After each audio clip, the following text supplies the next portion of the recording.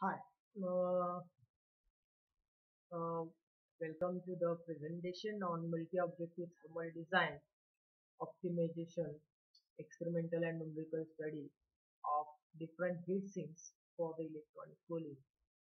Myself, Professor A.J. More, working in the Department of Mechanical Engineering, AI Systems of Information Technology, Pune as assistant professor.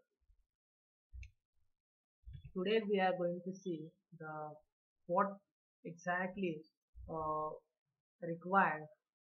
Uh, you know the world is moving fast and some electronic devices are coming which are compact in shape and due to the compaction there is an increase in the heat of that circuit. So to avoid the heat generation, heat dissipation, due to the heat generation and uh, dissipation, the some electronic devices or the let's say computer or laptop gets uh, damaged or uh, non-working condition comes non-working condition. And this so the basic idea about this uh, presentation is to uh, how to minimize the uh, you know the uh, heat dissipation or the heat generation in the electronic component by uh, selecting proper uh, cooling mechanism. So this is the brief history we have shown. There are so many technologies which are used uh, in the industry or in the research. They are uh, making a research on the uh, to keep the temperature of those processors, those electronic circuits at ambient condition or the normal temperature so that there will be no damage of that particular component no hang or no, no system non-working uh, condition will not occur uh, noise of the fan and all. So many things are there. So to avoid that we require the proper uh, cooling mechanism. In this we have selected uh, apart from that air cooling mechanism is there uh, phase change material is there the synthetic pulsating jet mechanism is there then heat pipes is there. There are so many types of uh, mechanisms are available to make the heat sink cool. Before the what is heat sink? Heat sink is the part which absorbs the heat rejected by the component uh, electronic components and it liberates to the atmosphere. But some heat sinks are uh, you know the due to their, their geometry due to their shape and size material etc they are not working properly. So in this research uh, topic uh, uh i have explained the one of the other uh, type of heat sinks called pin fin heat sink um, which is a circular shape. And i have made some experimentation on that. So i will experiment i will explain those things. Uh, this is the experimental uh, experimental uh, presentation on heat sink uh, using the multi-jet uh, nozzle impingement. I have performed the, the experimental experimentation on the the pin fin heat sink, which is the base dimension is the 60 by 60 mm size and 6 mm thickness, and for the velocity in the range of Reynolds number 6000 to the 20000 so in this content we are going to learn uh, what is jet impingement cooling technique what is multi-jet impingement cooling techniques uh, some of the literature review which paper we have reviewed uh, referred um, optimization of pin fin heatsink how I optimize which selection criteria are selected to select the heat sink then which apparatus experimental apparatus have selected on which experimental apparatus or setup I have done the experimentation and the future scope of the research so already uh, I explained why we are you going for this research. Due to the miniaturization high power density demand of uh, uh, system performance reliability in electronic systems and more heat generation in the system that is the main criteria. And we require the our heat system or the you can say the electronic circuit or the system should be at the ambient condition normal temperature irrespective of changing the system configurations to avoid overheating and burning problems of electronic circuit we have some proper uh, and less uh, space as well so we require some proper cooling uh, mechanism and uh, we have selected the jet impingement cooling techniques. What is jet impingement cooling techniques? It is the uh, you can say um, uh, uh techniques which is used for the most of the times in the heat augmentation technologies which relatively uh, cool the component at localized point or surface to be cooled or heated. There are various types of applications are there uh, of jet impingement cooling uh, I already explained the electronic cooling then tempering of the glass annealing of the glass or plastic sheet drying of the paper textile cooling turbine blades and uh, quenching of metals food processing industries. There are so many applications where the localized phenomena of heat transfer augmentation is occur or enhancement is occur. So where we are using the jet impingement cooling technique, maybe by using the gas, maybe using the some cool or hot fluid, or maybe the air as a cooling medium.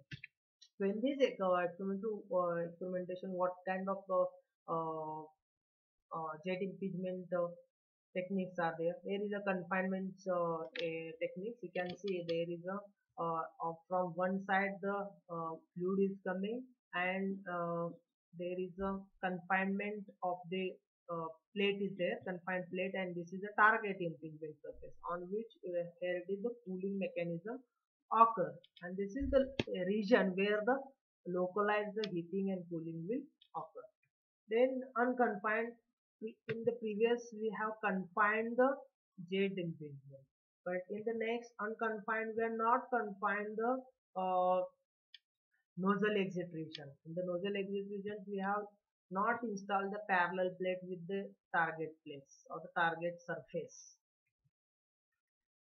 Now what is steady? There are various regions you can say when the jet, this is called nozzle jet which is a circular in shape. When you are applying uh, with certain velocity fluid or air to that there are various jet in the jet various uh, uh, regions are formed. First one is the net uh, at the exit of the nozzle is core jet, then jet contraction area, and this is the wall jet zone, which is impinging on the target zone. After impingement on the local point, it is get spread, and that spread in region along both the sides, it is called wall zone. And force acting on the target surface, this is a stagnation zone, or you can say the impingement region where the highest uh, uh, heat transfer augmentation occurs.